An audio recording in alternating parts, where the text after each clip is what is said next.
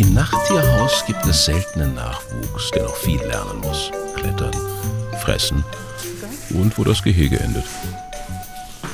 Also ich mache jetzt mal die Scheibe sauber, ein bisschen, damit man besser durchschauen kann. Wir haben die extra eingekalkt, damit die junge Holigalagus, die jetzt irgendwo in der Röhre sitzen, wenn die das erste Mal rauskommen, nicht gegen die Scheibe springen, dass sie das als Revierbegrenzung sehen. Moholigalagos oder, naja, vermutlich einfacher auszusprechen, Buschbabys sind afrikanische Feuchtnasenaffen mit einigen besonderen Fähigkeiten. Sie können schreien, springen und sich prima verstecken.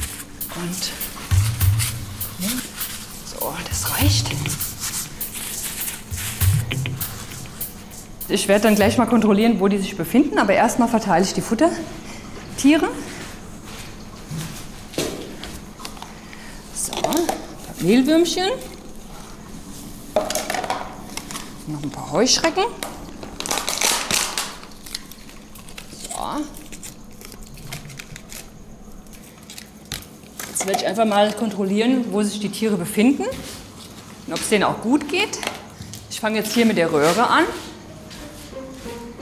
Ob sie sich hier drinnen befinden? Nein.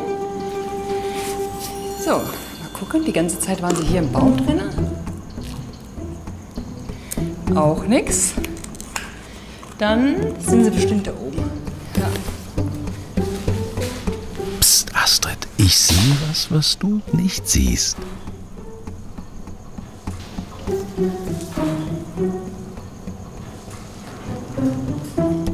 Nein, doch nicht. Ich habe mich getäuscht. So, das ist ja das Gute bei uns, dass wir denen ganz viele verschiedene Möglichkeiten anbieten. Macht es uns natürlich ein bisschen schwieriger zu finden, wo sie dann sind. Aber hier ist auch keiner. Dann vielleicht hier. Okay. Da sind sie. Hallo, guten Morgen. Alles klar? Ha? Alles klar? Und die Baby ist auch da. Ha? Oder seid ihr alleine? Mal gucken. Okay. So, hier sind sie auf jeden Fall drinnen. Aber die quetschen sich immer so zusammen, dass man nicht sieht, wie viele Tiere genau da drin sind. Ob es jetzt alle sind? Hallo, da ist auch eine. Da die ja nachtaktiv sind, dauert es jetzt nicht mehr lang, weil ja unsere Nacht anfängt, dass sie jetzt gleich rauskommen und ihr Frühstück holen. Dann lasst sie jetzt auch mal alleine, in der Hoffnung, dass sie dann auch rauskommen. Es wird nämlich langsam Zeit, endlich die ganze Familie Moholi Galago kennenzulernen. Papa, Mama und zwei Kinder. Jetzt ist, jetzt ist gerade die Mama rausgekommen und hat ein Baby im Maul. Jetzt weiß natürlich nicht, wohin damit, ob sie es jetzt in die Röhre ablegen soll oder in die Röhre. Wer die Wahl hat, hat eben die Qual. Das gilt auch für Moholi Galagos.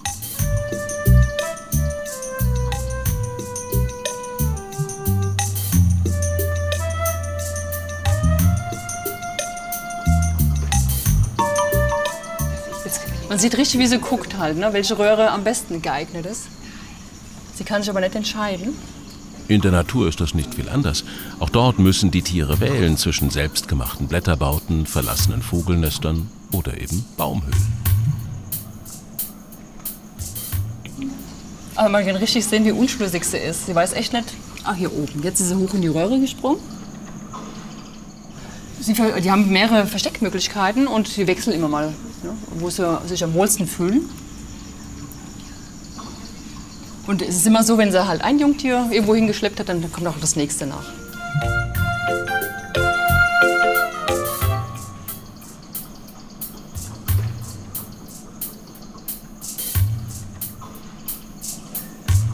Die putzigen Primaten sind allesamt waschechte Frankfurter. Schon die Eltern kamen vor drei Jahren hier am Main zur Welt. Doch unser hektischer Rhythmus ist ihnen fremd geblieben. Wenn wir wach sind, schlafen sie.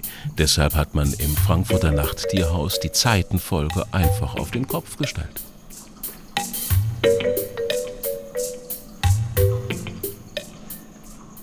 Jetzt haben sie die richtige Nacht erreicht. Und jetzt sind sie natürlich mit dem Frühstück beschäftigt. Die Jungtiere sind jetzt sicher oben in der Röhre drin halt.